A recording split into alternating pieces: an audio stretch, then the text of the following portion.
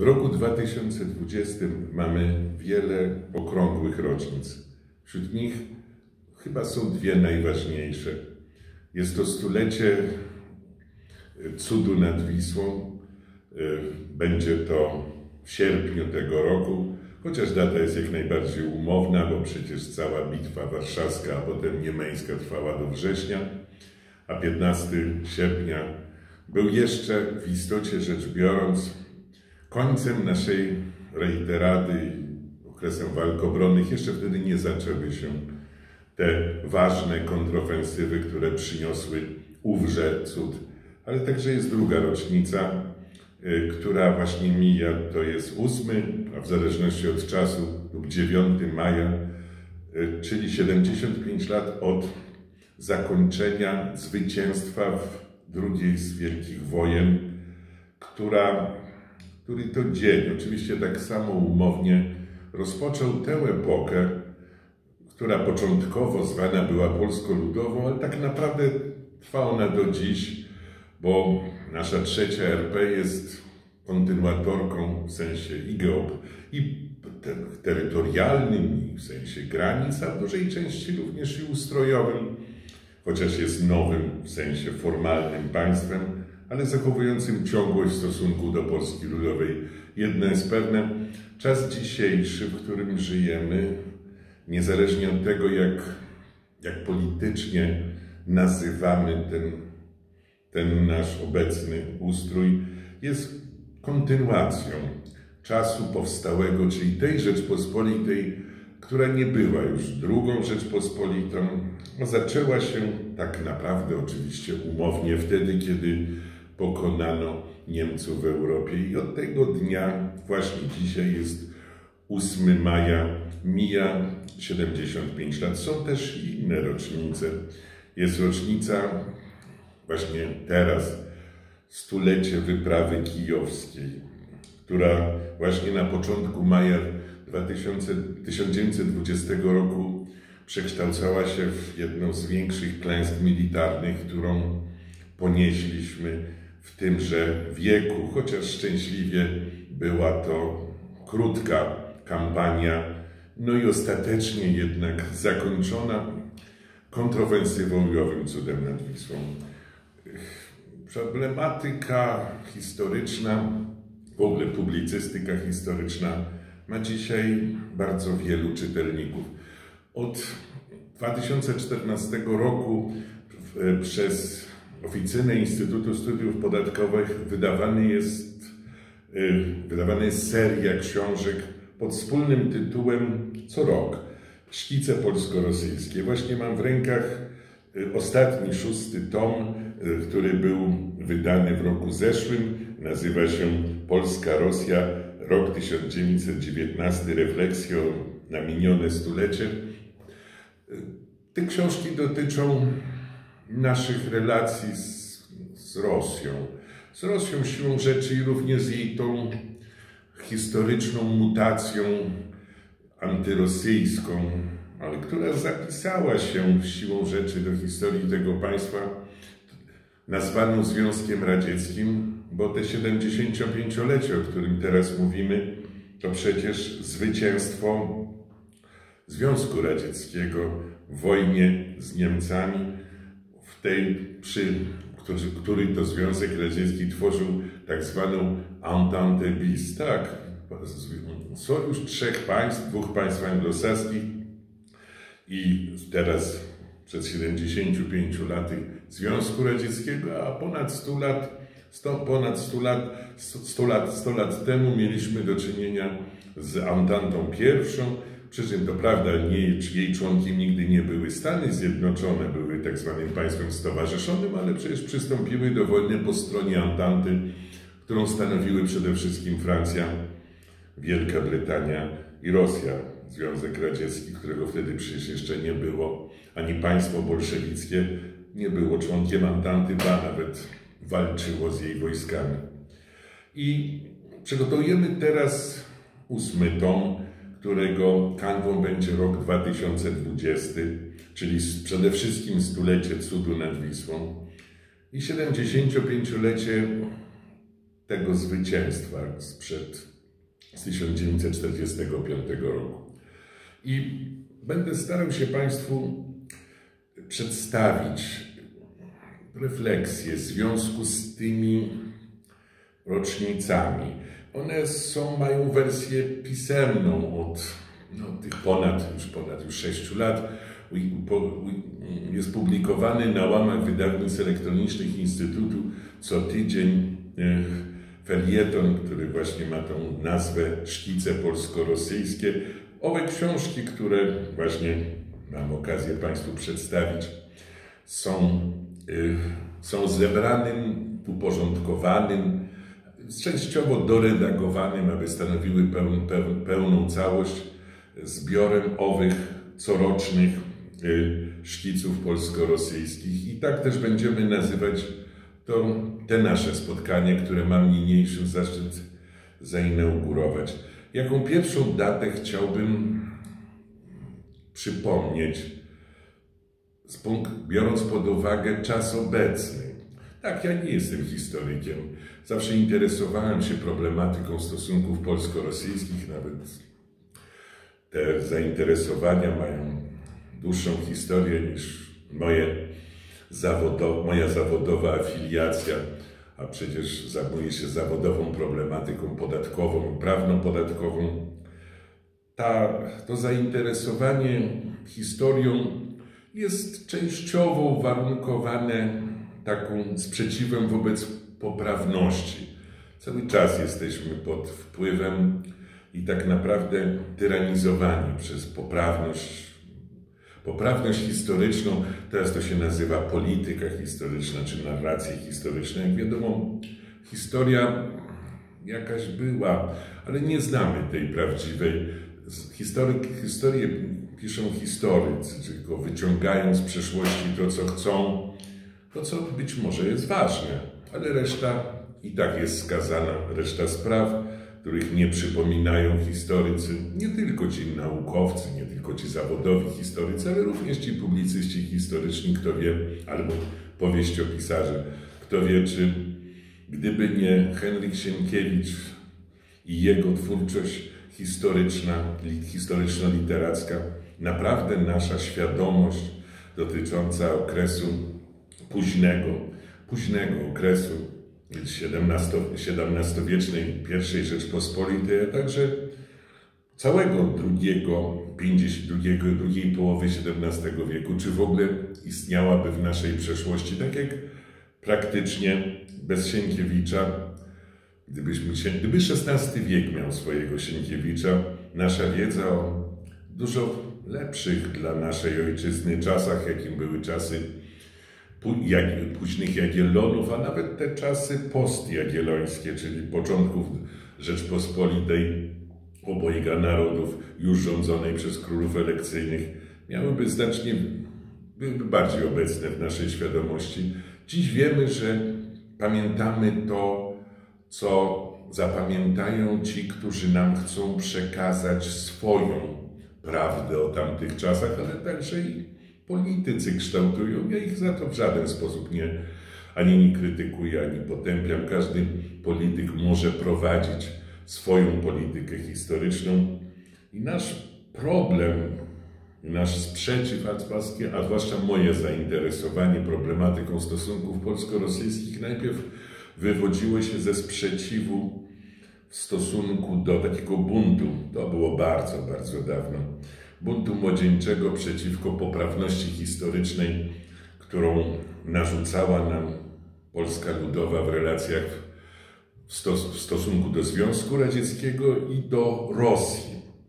Przeciwstawiamy i trzeba przeciwstawiać te dwa państwa, ponieważ Związek Radziecki, który był, powstał dopiero w 1922 roku, czyli już w sumie to prawie pięć lat po zwycięstwie rewolucji bolszewickiej i będąc kontynuatorem państwa bolszewickiego, był jednym, był pogromcą, pogromcą Rosji, był najbardziej antyrosyjską formacją w historii i to notabene stworzoną na terytorium tego państwa i po to, żeby je zniszczyć i opanować.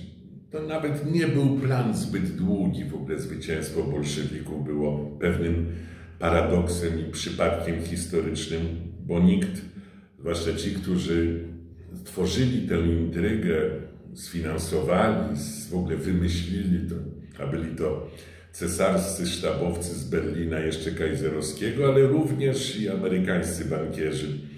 Czyli intryga, która miała zniszczyć Rosję jako potęgę ekonomiczną. Niemcy chcieli ją wyeliminować z wojny, co się zresztą udało, jako przeciwnika właśnie w tej Entancie numer jeden. Natomiast Amerykanie chcieli mieć wpływ na bolszewików, tutaj ich niejako przedstawicielem, przecież w końcu człowiekiem, który został z amerykańskim paszportem wysłany do, do państwa bolszewickiego, do jeszcze nieistniejącego, ale które miało powstać, był Lew Trocki, Lejba Bronstein. I oni chcieli, przynajmniej w tej wersji takiej budującej, obronić podbijaną ekonomicznie, a w zasadzie niszczoną Rosję przez kapitał niemiecki, który miał iść za zwycięskimi bolszewikami, chciano obronić ją przed tym wpływem, zresztą pozyskując ją, tę Rosję, dla kapitału amerykańskiego. Wiemy, że skończyło się to tym, że Rosja została wykreślona z granic, z map świata. W to miejsce powstało państwo najpierw bolszewickie, potem stalinowskie, potem z najbardziej po okresie poststalinowskim najbardziej pasuje państwo sowieckie. To jest tu my jeszcze kiedyś w tłumaczeniu to nazywaliśmy państwem radzieckim.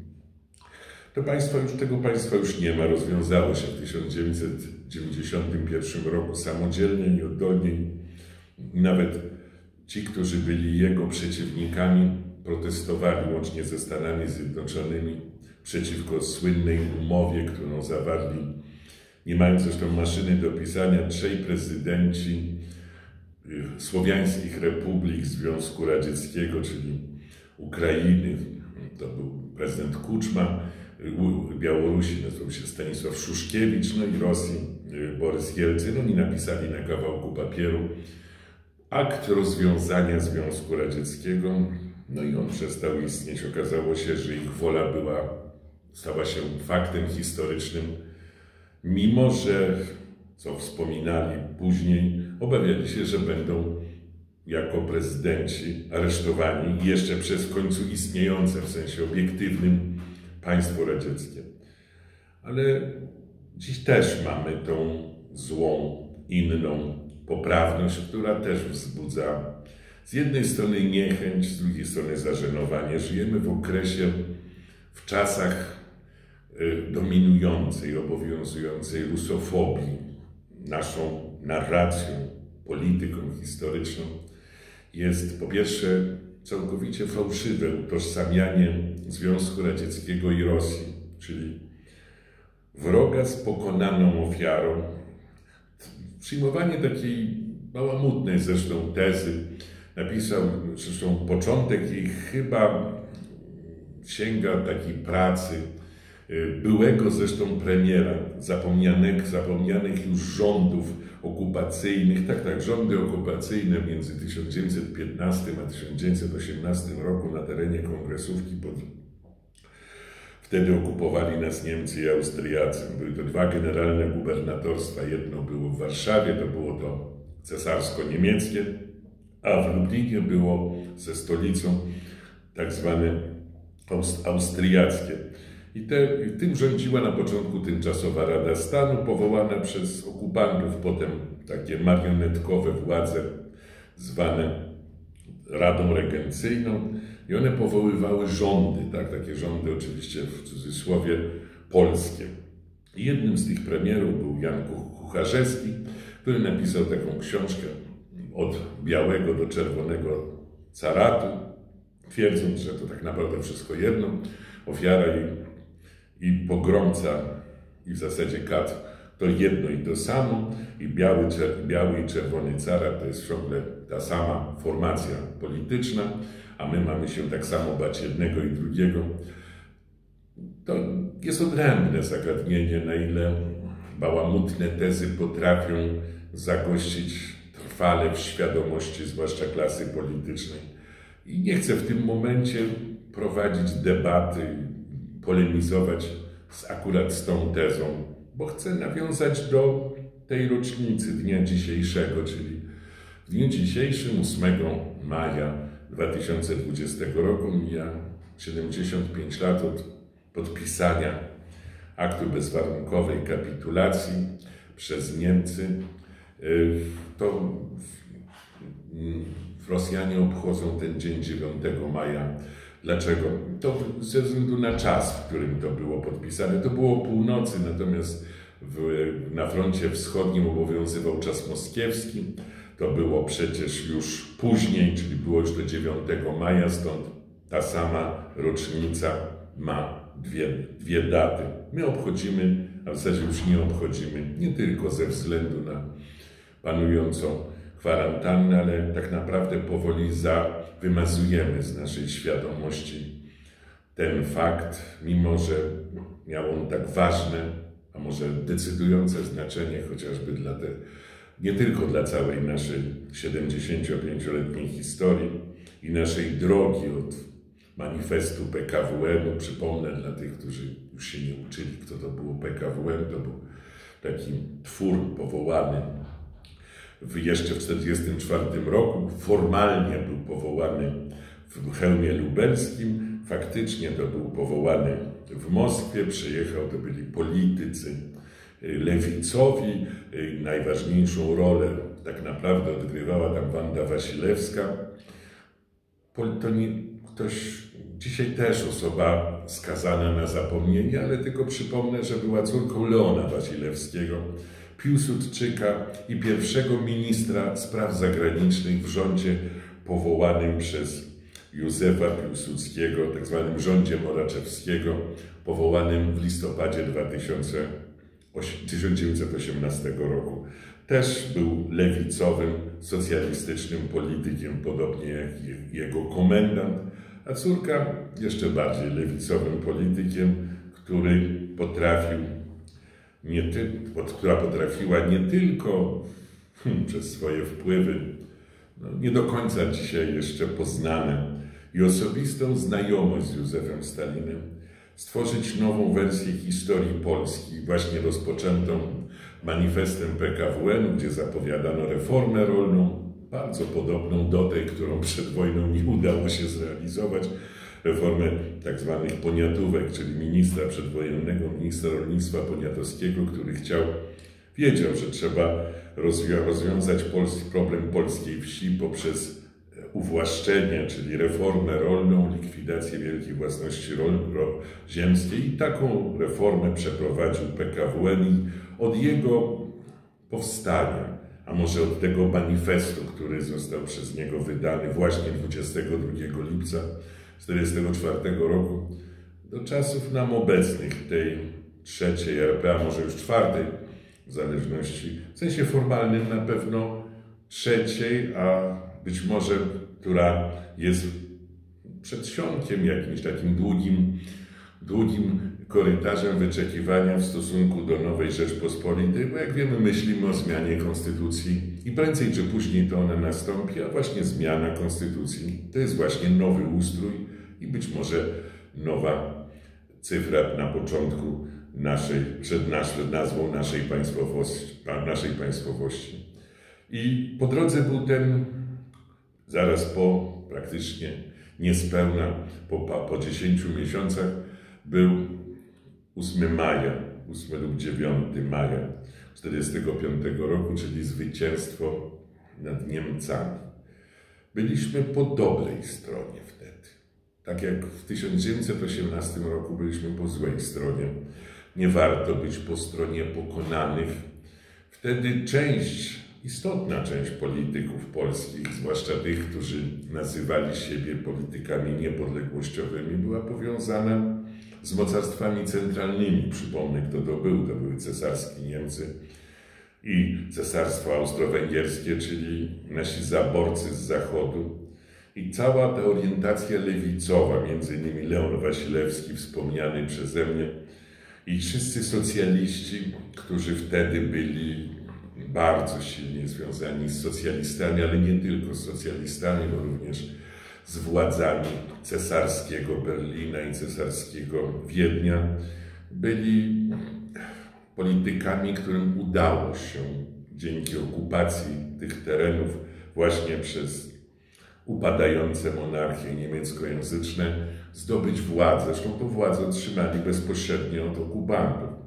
Oczywiście okupanci, okupanci ich, czyli legitymacja tej władzy, sami ulegli wewnętrznej destrukcji, ale dla zwycięskiej Antanty byliśmy, ci politycy byli, nie byli wiarygodni, nawet nie chcieli z nimi rozmawiać, nie uznawali tych rządów powoływanych przez Radę Regencyjną, a potem przez ani władzy tymczasowego naczelnika państwa, dopiero rząd powołany przez polityka bardzo silnie związanego ze Stanami Zjednoczonymi, z Antantą, czyli naszego wielkiego Ignasia Paderewskiego, dopiero był pierwszym rządem, który miał możliwość wejścia na salony, salony zwycięskich państw Zachodu. Przypomnę, że do tego Zachodu zaliczała się również pokonana przez obecna w sensie formalnym, chociaż faktycznie pokonana militarnie Rosja.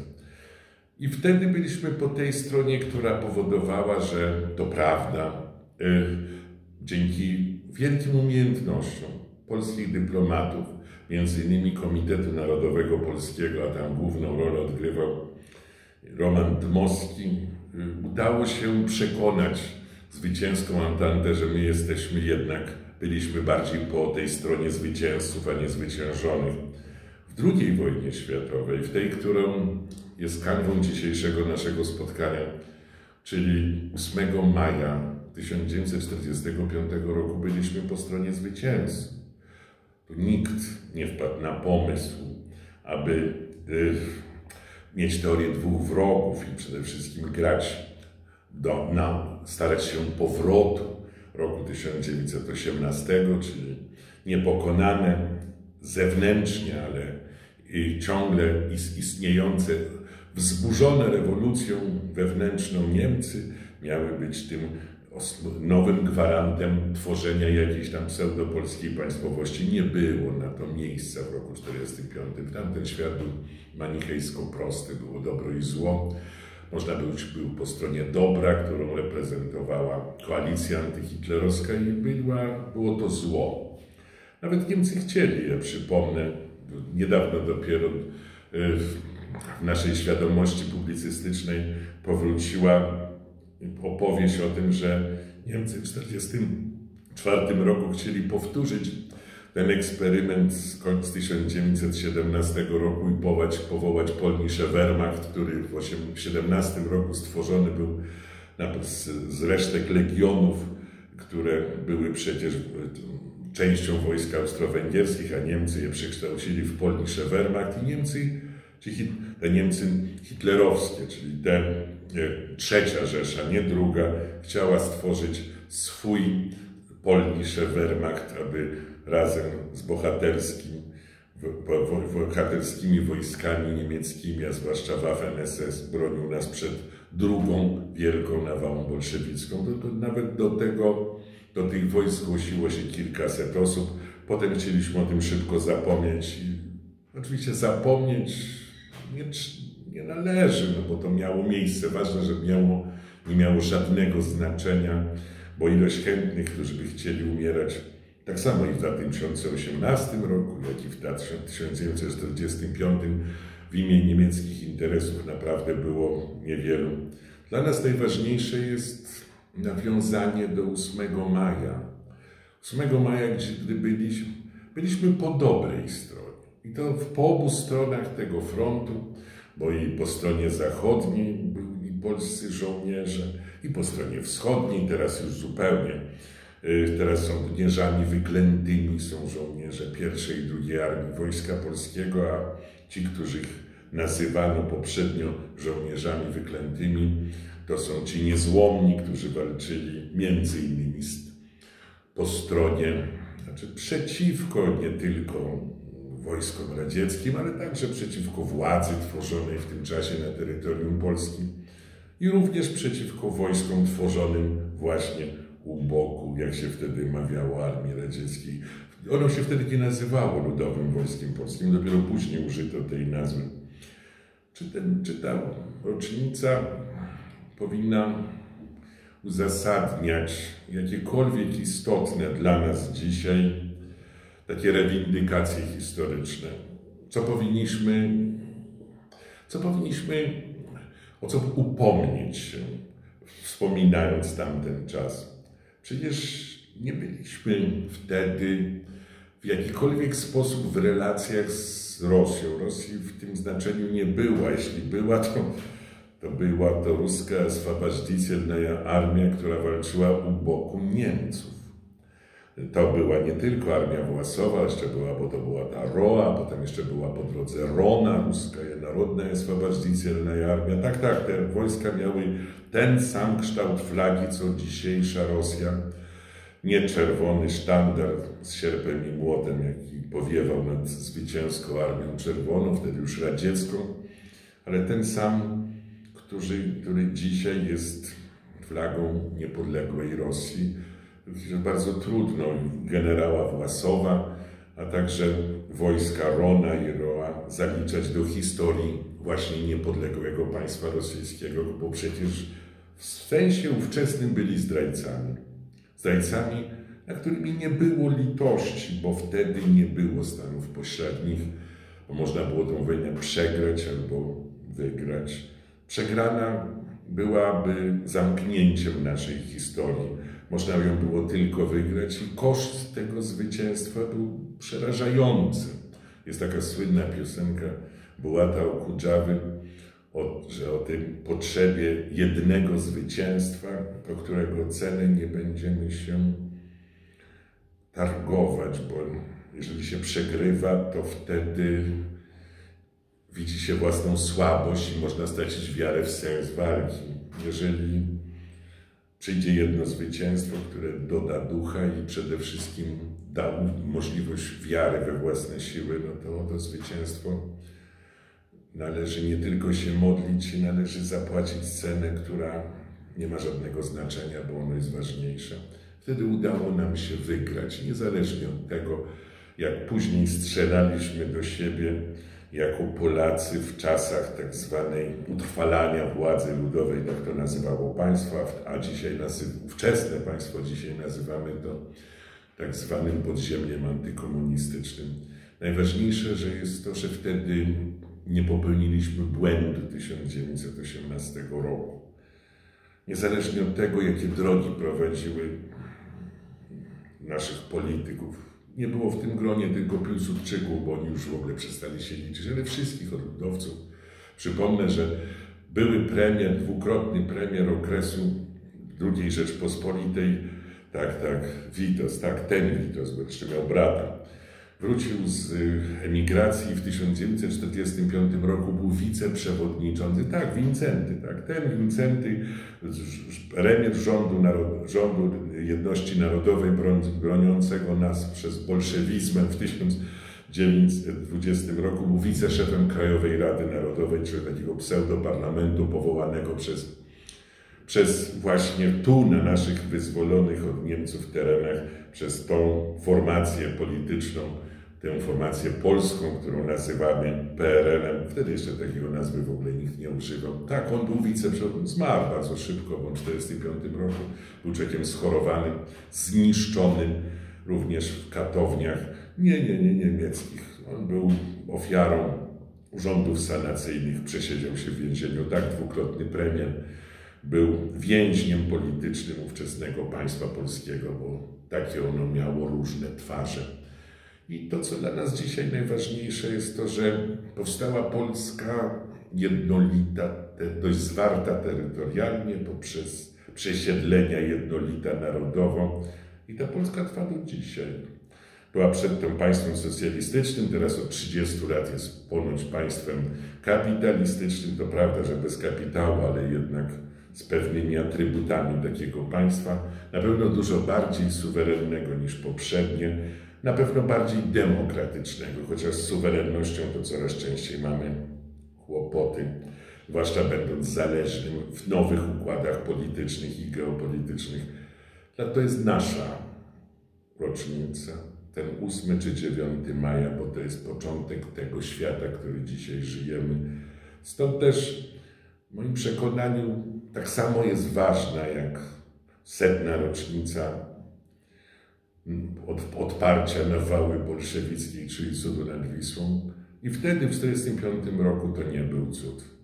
Była to przerażająca hekatomba pokoleń i niewyobrażalny koszt poniesiony, bo za jednego zabitego Niemca płacono średnio dziesięcioma zabitymi żołnierzami koalicji antyhitlerowskiej, czyli umieli się oni bronić, czyli ich pokonanie było bardzo trudne, ale nie, nie mieliśmy innego wyjścia i byliśmy po dobrej stronie. To tak dla naszej pamięci. Dziękując Państwu za uwagę i pragnę wszystkim oczywiście życzyć zdrowia, bo ciągle jesteśmy w okresie zarazy. Miejmy nadzieję, że ona minie. Pozdrawiam Was najserdeczniej.